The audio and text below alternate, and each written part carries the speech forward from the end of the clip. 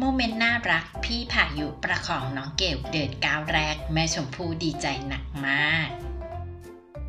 เป็นที่ทราบกันดีเลยค่ะว่าตอนนี้ชมพู่อารยาเอฮาร์เก็ตนั้นเป็นคุณแม่ลูกสามเป็นที่เรียบร้อยแล้วล่ะค่ะ ที่ยังสวยเป๊ะไม่เคยเปลี่ยนแถมสามีหนุ่มน็อตวิศรุตเนี่ย ก็ดูหล่อขึ้นทุกวันเลยล่ะค่ะ สมกันดังกิ่งทองใบหยกเลยก็ว่าได้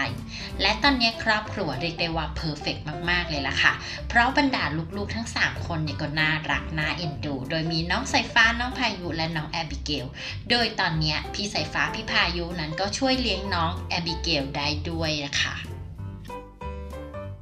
และล่าสุดทางด้านชมพู่อารยานั้นก็ได้ออกมาโพสต์โมเมนต์อบอุ่นของพี่ชายน้องสาว หลังจากน้องเกลนั้นที่กำลังอยู่ในวัยหัดเดิน แต่ก็ยังไม่แข็งสักเท่าไหร่ ซึ่งงานนี้พี่พายุก็เลยขอไปทำหน้าที่พี่ชายเข้าไปประคองช่วยน้องเกลเดิน เรียกได้ว่าเป็นโมเมนต์ที่น่ารักเอามากๆทีเดียวเลยล่ะค่ะ โดยวันนี้เราจะพาไปดูก้าวแรกของน้องแอบิเกล ที่บรรดาชาวเน็ตทั้งหลายเนี่ยช่วยกันเลี้ยงออนไลน์ ดีใจมากไม่แพ้กับคุณแม่ชมพู่เลยล่ะค่ะ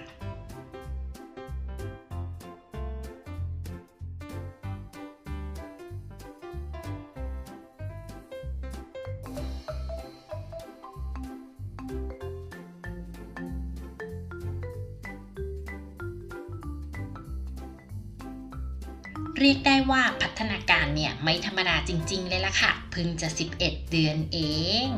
และเพื่อที่จะไม่พลาดคลิปใหม่ๆอย่าลืมกดติดตามค่ะ